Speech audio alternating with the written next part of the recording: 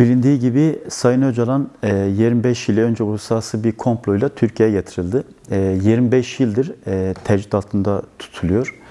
E, bu 25 yıl e, süresi boyunca e, Türkiye'nin sorunları daha da derinleşti. Özellikle Kürt sorununda çözümsüzlüğün dayatıldığı bir sürece dönüştürüldü. Son e, yaklaşık 3 yılda e, Sayın Öcalan üzerinde mutlak bir tecrit e, geliştirilmiş. E, Sayın Öcalan'la diyalog süreci başlatıldığı zaman Türkiye'de bir barış süreci e, gelişmişti. O barış süreciyle birlikte aslında Türkiye'nin e, sorunların çözülebileceği, Kürt sorunun çözülebileceği, Türkiye'nin demokratikleşebileceği umudu ortaya çıkmıştı.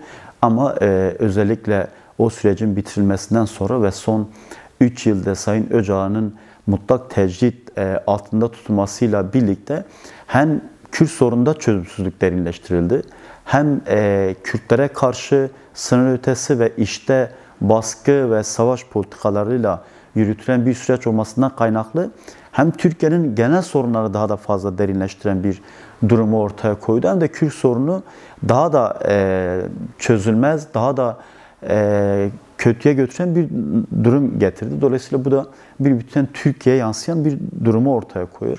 Özellikle Sayın Öcalan'ın üzerindeki tecritten sadece kendisiyle sınırlı tutulmayıp buradan Kürtler ve Kürtler üzerinden de bir bütünen Türkiye'ye yansıtan bir tecrit durumu söz konusudur.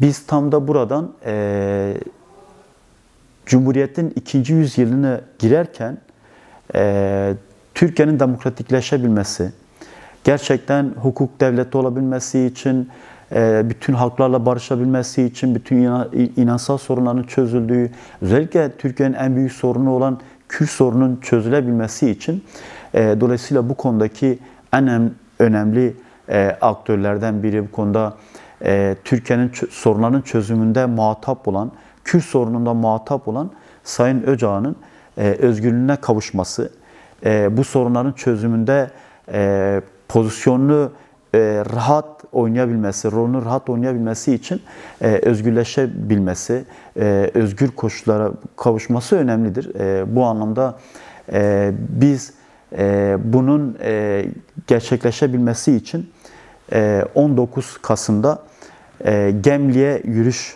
e, gerçekleştiriyoruz. Özgürlüğe yürüyüş gerçekleştiriyoruz.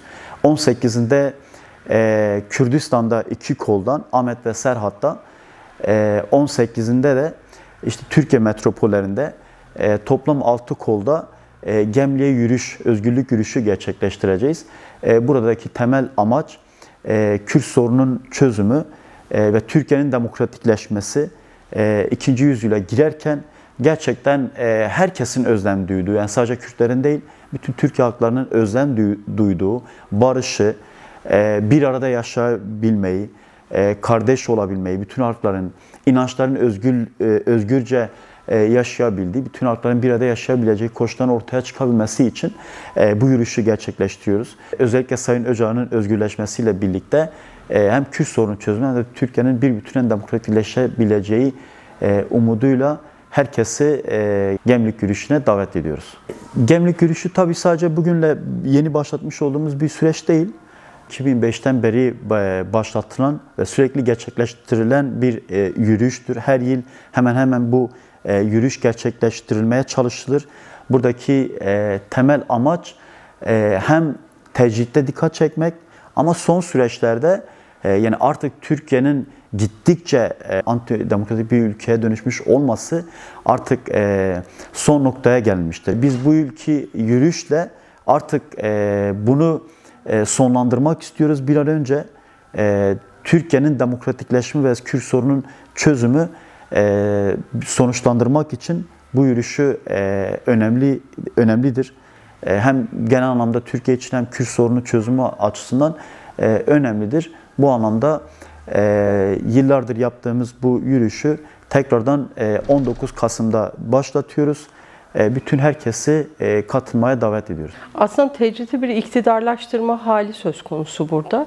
Yani e, Kürt halk önderi Sayın Abdullah Öcalan'ın üzerinde uygulanan bu e, özellikle 33 ayı varan avukatlarıyla, ailesiyle hiçbir şekilde haber almama hali e, aslında e, mücadelenin önünü kesmek, ortadaki Orta Doğu'daki savaşın sürekliliğini esas kılmak. Yani Kürt sorunu meselesini çözmemek. Bütün bunlara yorulabilir. E, ağırlaştırılmış tecritin aslında hayatımıza yansıması işte siyasi faaliyet yürütürken partimize uygulanan baskı, e, bizim bütün siyasi faaliyetlerimizin durdurulma hali, işte e, sokaktaki hiçbir eylemin gerçekleştirilmeme hali. Tecridi tek başına değerlendiremeyiz. Tek bir kişiye uygulanıyormuş gibi değerlendiremeyiz. Eğer biz tecridi oradan kıramazsak yaşamın her alanı tecrit altına girecek ki bunun örneklerini görüyoruz. Yani hiçbir yönetici kadromuz hatta aktivistimiz dışarıda değil. Sırayla tutuklanıyoruz. Mahkemeler bizlerle dolu hale geldi. Hak arama mücadelesi devam ederken herkes sırayla gözaltına alınıyor, işkenceye uygulanıyor. Yaşamın her alanında tecrit altındayız. O nedenle de tecriti kırmanın yolu aslında İmralı'dan geçiyor. Bunun farkındayız ve bütün enerjimizi, gücümüzü, önümüzü döndüğümüz yer orası. Oradaki tecriti kırıp yolumuza devam etmek. E, Gemlik yürüyüşünü aslında biz örmeye başlarken e, ev ev, sokak sokak, mahalle mahalle e, ve il il örgütlemeye çalışıyoruz ki tecriti kıramazsak aslında bu e, hem Sayın Abdullah Öcalan'ın fizik özgürlüğüne kavuşması, tecritin kırılması bizim için çok önemli. Kürt halkının mücadelesinin sekteye uğraması gibi bir şey yani. Orayı siz çözemezseniz savaşı devam ettiren koşulları devam ettirmiş olursunuz. Barışı sağlamanın yolu tecriti kırmaktan geçiyor ve oranın iletişiminin devamından geçiyor. Bu nedenle de e, bu örgütlenme bizim ayakta kalabilmemiz için e, ve bu hukuksuz yargılamanın son bulması için, uygulamanın devam etmemesi için, buranın iktidarlaşmaması için önümüze koyduğumuz hedef. Sayın Abdullah Öcalan'ın hem tecritinin kırılması hem fiziki özgürlüğüne kavuşturulması e, esas gündemimiz bu. Bununla beraber aslında tüm zindanlarda da tecritin kırılması. E, altı koldan başlayan Gemlik yürüyüşü ayın 18'inde Ahmet'ten başlayacak ve 19'unda İstanbul'la devam edecek. E, 19'unda biz de İstanbul İl Örgütü olarak bütün barış talebi olanları, kadınları, gençleri, emekçileri, işçileri bu yürüyüşe davet ediyoruz ve e, tecritin sesine ses olmaya, güç vermeye, bizimle alanlarda olmaya davet edelim.